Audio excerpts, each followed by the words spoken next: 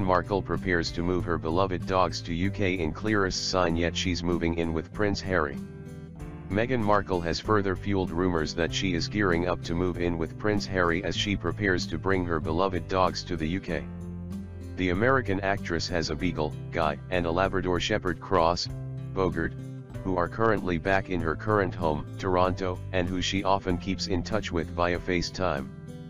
However, Bogart and Guy, who make regular appearances on her social media profiles, are now believed to be headed for Britain, indicating that the next step of her relationship with Harry is imminent.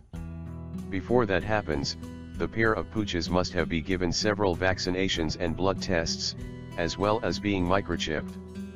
A source close to the suit star told The Sun, the fact she started the process of moving them to England is the clearest hint yet that she sees her future living in London with Harry.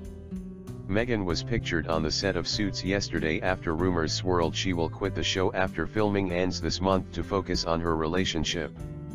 She was spotted on the set of Suits in Toronto, donning a casual outfit over the weekend when she reportedly filmed a wedding scene for the hit series.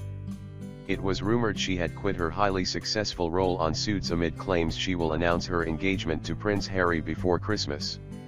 On Monday, US Weekly reported that Patrick J. Adams and Meghan Markle are set to leave Suits when season 7 ends. A source told the magazine, Patrick was always leaving the show. He made his mind up a while ago.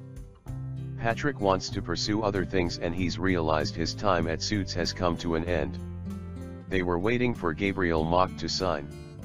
He's going back so there will be a season 8 and as of now, 9.